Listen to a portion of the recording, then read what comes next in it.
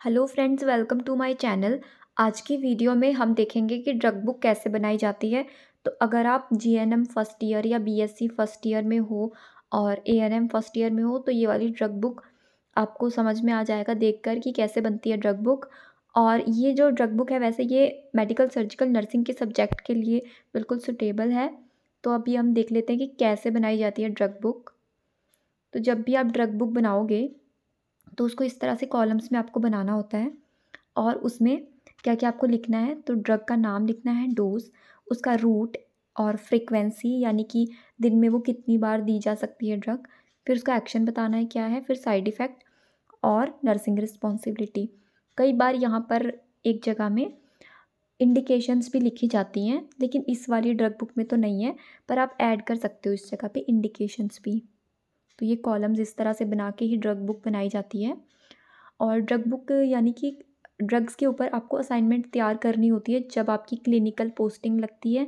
तो वहाँ पे आपने जो जो ड्रग्स देखी वार्ड में, वो फिर आप नोट करते हो और फिर उनको पूरा एक्सप्लेन करके अपना असाइनमेंट तैयार करते हो। वही यहाँ पे बनाई गई है और जो भी मेडिकल वार्ड सर्जिकल वार्ड में ड्रग्स हमको अवेलेबल होती हैं यूजुअली जैसे कि आईसीयू में हो आप तो मैक्सिमम टाइम ड्रग्स आपको एक जैसी ही अवेलेबल मिलती हैं। जैसे एमरजेंसी में भी वही मिल जाएँगी, फिर मेडिकल वार्ड में भी सर्जिकल वार्ड में भी। कुछ एक आईसीयू में कुछ एक्स्ट्रा ड्रग्स होती हैं। तो अभी हम ड्रग्स देख लेते हैं कि कौन कौन सी ड्रग्स हैं इसमें। तो इसमें सबसे पहले है सालबुटामोल ये एक ब्रोंकोडाइलेटर ड्रग है और इसकी यहाँ पे डोज लिखी हुई है। फिर इसका रूट बताया गया है कि इस तरह से इन रूट से इसको दिया जाता है सालबुटामोल को। और हाँ आप चाहे तो इधर ना केमिकल नेम और ट्रेड नेम करके भी लिख सकते हो। जैसे जो ब्रांड नेम होता है ट्रेड नेम वही होता है, वो अलग से आप लिख लो यहाँ पे और फिर उसका केमिकल नेम भी बता दो ड्रग का। ये है फ्रिक्वेंसी यानी कि टी डी एस भी इसको देते हैं और क्यू डी एस दिन में तीन बार और चार बार। फिर एक्शन लिखा गया है इसका कि ये क्या करता है? Salbutamol relax the smooth muscle of all airways from the trachea तो ये एक ब्रोंको डायलेटर का काम करता है, स्मूथ मसल को रिलैक्स करने का इसका मेन काम रहता है। फिर इसके यहाँ पूरे साइड इफ़ेक्ट्स बता दिए हैं। ऐसे ही आपको हर एक ड्रग के साइड इफ़ेक्ट बताने हैं। तो साइड इफ़ेक्ट्स ड्रग्स के रहते हैं। और फिर लास्ट में आप नर्सिंग रिस्पॉन्सिबिलिटी लिखोगे कि कोई भी ड्रग आप पेशेंट को दे रहे हो तो उसमें क्या नर्सिंग रिस्पॉन्सिबिलिटी आपकी बनती है? मेनली हमारी जो नर्सिंग रिस्पॉन्सिबिलिटी होती है, वो ये होती है कि ड्रग को देने से पहले हमको चेक करना है डॉक्टर का ऑर्डर कि किस पेशेंट को कौन सी ड्रग देनी है। ऐसा नहीं है कि आपने दो नंबर वाले पेशेंट को तीन नंबर वाले पेशेंट की ड्रग दे दी। ऐसे मिस आ, क्या कहते हैं उसे माल प्रैक्टिस नहीं करनी है। एकदम एक्यूरेट डोज होनी चाहिए। कोई आ, कम या ज़्यादा ओवर डोज नहीं देनी है पेशेंट को। ऑर्डर को पूरा चेक करना है। Right patient right route right documentation ये सब का ध्यान रखना होता है। अब हम नेक्स्ट ड्रग देखते हैं। इसी तरह से नर्सिंग रिस्पॉन्सिबिलिटी ज़्यादातर ऐसी ही लिखी जाती है जो मैंने आपको ऐसे वर्बली बताया ना और लिखा भी हुआ है। फिर नेक्स्ट जो ड्रग है वो ए डी आर है एडर्नलिन इसका पूरा नाम है और ए डी आर भी इसको बोलते हैं। ये इसकी डोज है। I M subcutaneous I V भी देते हैं। इसको आई वी भी लिखते हैं ना यहाँ पे आप। फिर इसकी फ्रिक्वेंसी वैसे ही कितनी बार ये दी जाती है? तो ओ डी बी डी दो बार या एक बार may be repeated if necessary every five to ten minutes ये और भी रिपीट की जा सकती है। और ये जो ड्रग होती है ना, ये एक लाइफ सेविंग ड्रग है। एट्रोपिन ए डी आर को हम जब पेशेंट क्रैश कर जाता है तो उस टाइम पे देते हैं ताकि उसके जो पैरामीटर्स हैं, उनको हम इंक्रीज़ कर सकें। ये देखिए, इसका एक्शन है। A D R is a drug lead to increase blood pressure heart rate increase air entry air increase blood glucose stimulate cardiac activity और allergic reaction yes anaphylactic reaction जब हो जाता है, तब भी इस ड्रग को देते हैं। यानी कि एक लाइफ सेविंग ड्रग भी है और एनाफाइलेक्टिक रिएक्शन जब पूरे बॉडी में हाइज हो जाते हैं और हाइपर सेंसिटिविटी उसमें इसको देते हैं। तो ये मैंने आपको बता दिया इसके बारे में। साइड इफ़ेक्ट्स बता देने इस ड्रग के सारे हैं। फिर नर्सिंग रिस्पॉन्सिबिलिटी उसी तरह से कि कुछ भी ड्रग दे रहे हैं तो पहले पेशेंट को आपको चेक करना है। उसके वाइटल्स वगैरह भी देख लेने हैं और फिर उसको ड्रग देना है। डॉक्यूमेंटेशन का पूरा ध्यान रखना है। रिकॉर्ड एंड रिपोर्टिंग का ध्यान रखना है।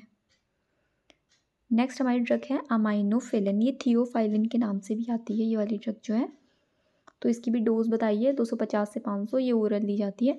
और साथ में ये जो है ना, ये आईवी भी होती है, ये वाली ड्रग। उसके बाद है T D S, Q D S तीन में तीन चार बार। अमाइनोफिलन भी एक वो है, ब्रोंकोडाइलेटर का काम करती है ये भी। और इसका जैसे कि वीजिंग है किसी को डिफ़िकल्टी ब्रीदिंग है शॉर्टेस्ट ब्रेथ है, उन सब में ये अमाइनोफिलिन दी जाती है ड्रग। थियोफाइलिन के नाम से भी ये अवेलेबल होती है। तो ब्रोंकोडाइलेटर का इसका मेन काम है, जैसे निमोनिया है किसी को, उसमें भी ये इसको देते हैं। ब्रोंकाइटिस की प्रॉब्लम में अस्थमा की प्रॉब्लम में ये ड्रग दी जाती है। फिर उस वैसे ही साइड इफ़ेक्ट्स ड्रग्स के आपको लिखने हैं। हर एक ड्रग के साइड इफ़ेक्ट रहते हैं एलोपैथी आपको पता ही है तो साइड इफ़ेक्ट्स बता देने हैं और नर्सिंग रिस्पॉन्सिबिलिटी ये चीज़ें मैं आपको इसलिए नहीं समझा रही हूँ क्योंकि नर्सिंग रिस्पॉन्सिबिलिटी मैक्सिमम टाइम एक जैसी लिखी जाती है लगभग लगभग। और साइड इफ़ेक्ट्स में कुछ जीआई के साइड इफ़ेक्ट होते हैं। हार्ट के ऊपर भी side effect, cardio side effect हो सकते हैं। तो इस तरह के थोड़े बहुत साइड इफ़ेक्ट हैं जो कि हमको लिखने होते हैं ड्रग्स के।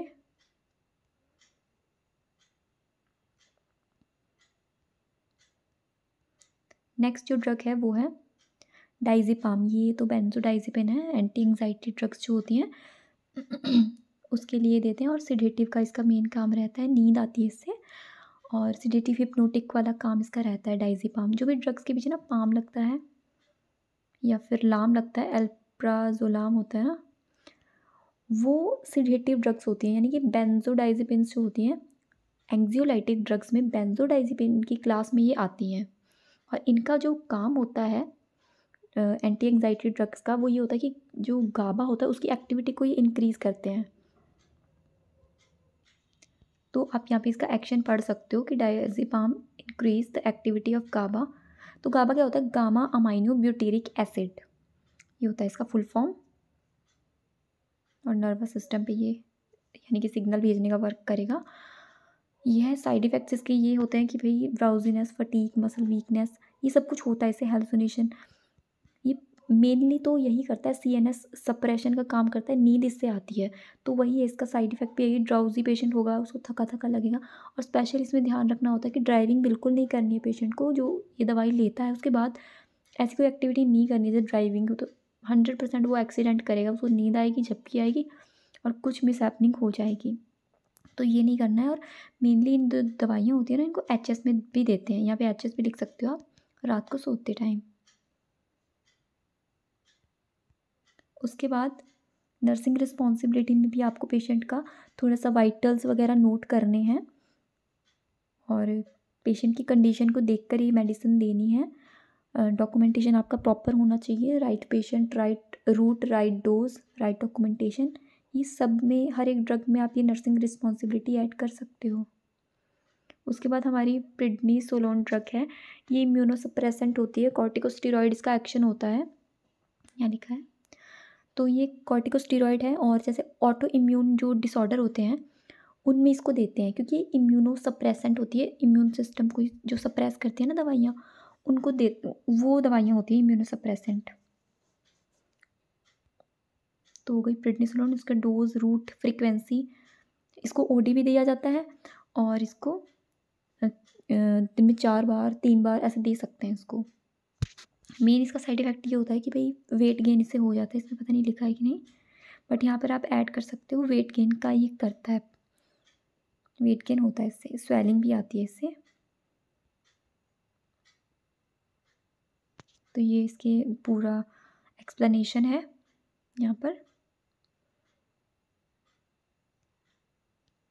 नेक्स्ट जो ड्रग है वो है रेंटेडिन जो कि एच टू ब्लॉकर होती है ये। इम्पटी स्टमक इसको दिया जाता है। आपने काफ़ी बार देखा होगा इस ड्रग को तो। रेंटेक के नाम से भी आती है इसका ट्रेड नेम और ये एंटासिड का काम करती है। Decrease amount of acid your stomach वैसे तो हमारे स्टमक में एसिड होता ही है एल के नाम से हाइड्रोक्लोरिक एसिड लेकिन जब उसका अमाउंट नॉर्मल से ज़्यादा हो जाता है तो फिर एसिडिटी जैसी प्रॉब्लम होने लग जाती है। फिर ये दवाइयाँ देनी पड़ती हैं, जैसे कि रेंटेडिन हो गई सिमिटेडिन या फिर जो प्रोटोन पंप इनहिबिटर होते हैं, उनको दिया जाता है या फिर अदर जो एंटासिड सिरप्स होते हैं, उनको भी देते हैं।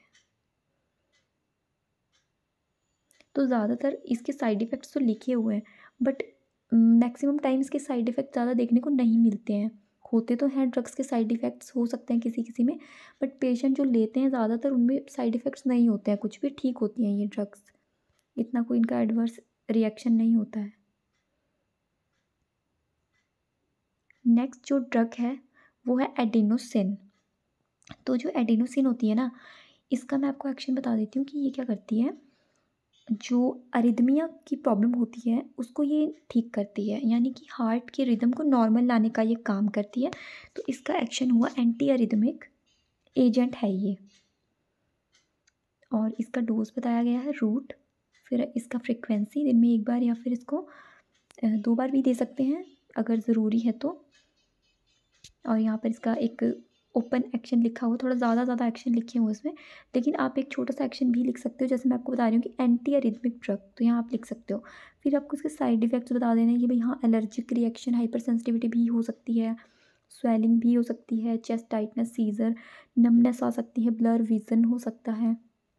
उसी तरह से आपको नर्सिंग रिस्पॉन्सिबिलिटी लिखनी है कि भाई, जब भी आप इसको, दवाई को दो तो आपको मॉनिटर करना है ब्लड प्रेशर पेशेंट का। तो क्योंकि कार्डियक एक्टिविटी इसमें मॉनिटर करना ज़रूरी है, क्योंकि ये एंटी अरिदमिक ड्रग है।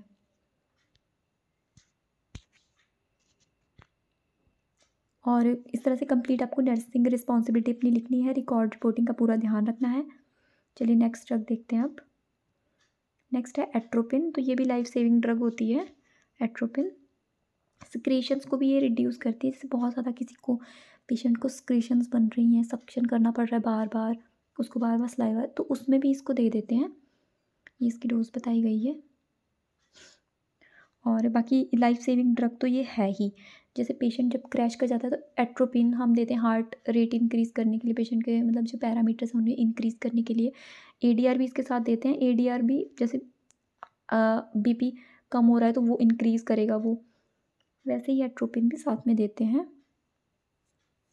लाइफ सेविंग ड्रग्स इनको बताया जाता है और इनके साइड इफ़ेक्ट्स आपको लिखने हैं। नर्सिंग रिस्पॉन्सिबिलिटी उसी तरह से बतानी है पूरी।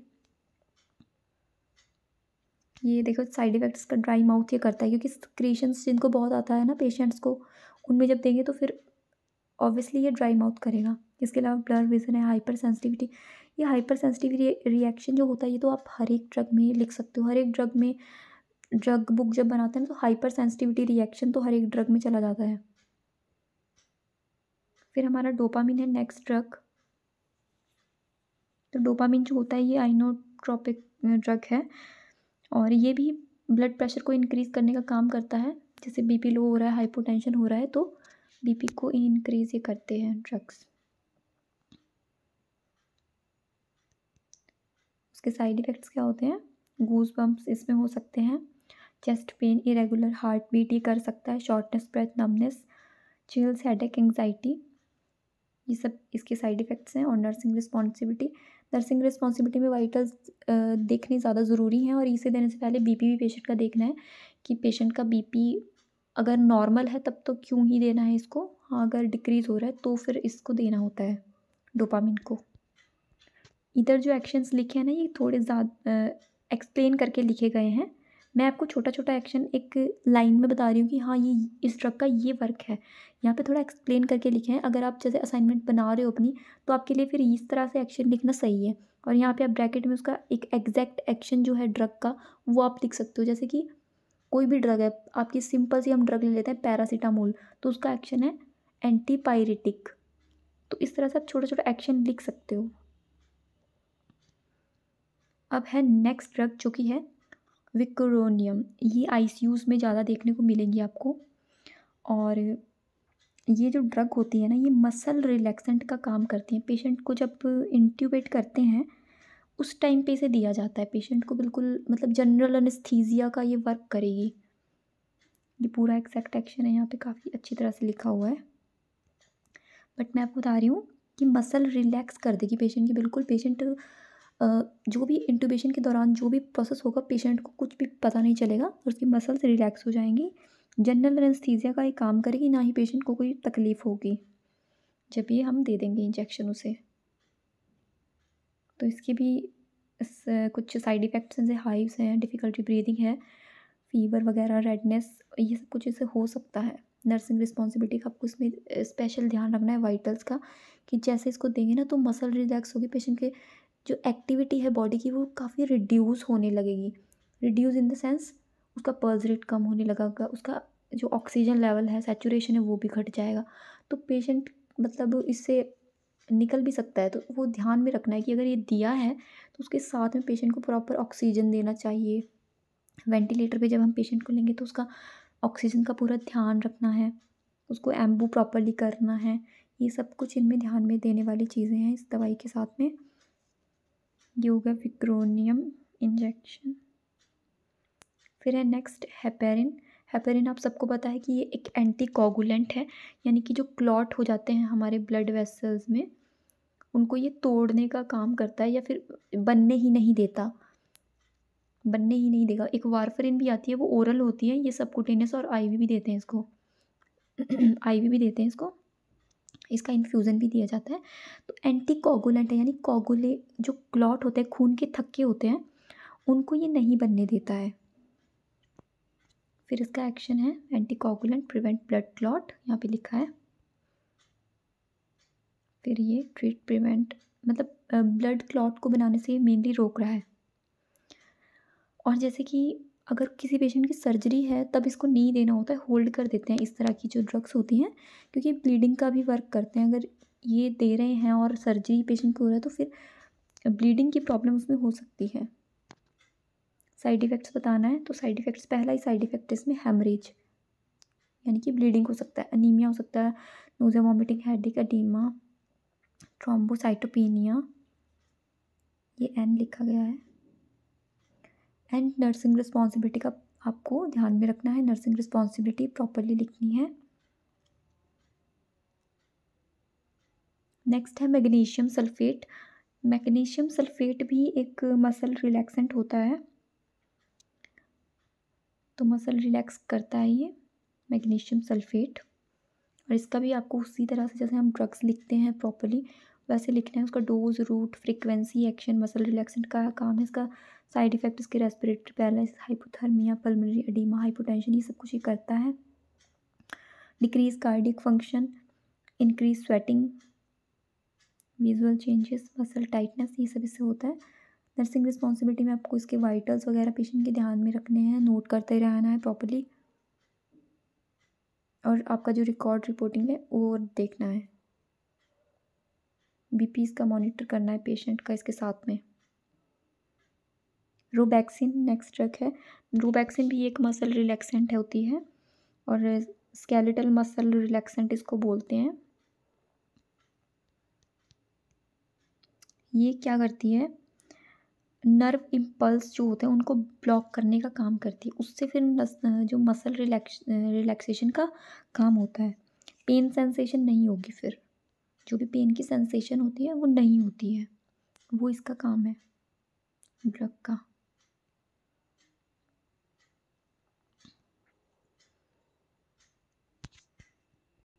ये है लास्ट ड्रग है ये आई थिंक तो ये है साइक्लोबेंजापाइन ये भी इसके स्केलेटन मसल रिलैक्सेंट की सारी मसल रिलैक्सेंट ही आ रही है ब्लास्ट में। और ये भी पेन सप्रेसेंट का वर्क करती है। ये लास्ट ड्रग है हमारी।